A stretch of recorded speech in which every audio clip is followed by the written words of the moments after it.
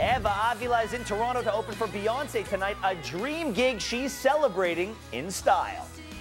Obviously, I couldn't believe it at first. I was just so astounded and shocked. I was like, oh my gosh, is this for real? This is insane. It's the biggest concert event of the summer, and Eva Avila is getting rock star ready in the hottest Diesel looks of the season. I want to have something that's going to stand out, that's still very me, that's fun, funky, um, very stylish, feminine, but still with that kind of a pop star edge.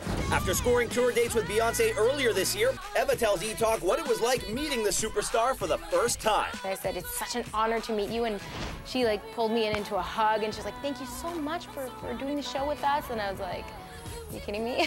Thank you. And she, I was kind of starstruck. And helping Eva find the perfect look, Diesel's resident style maven, Erin Yeffet.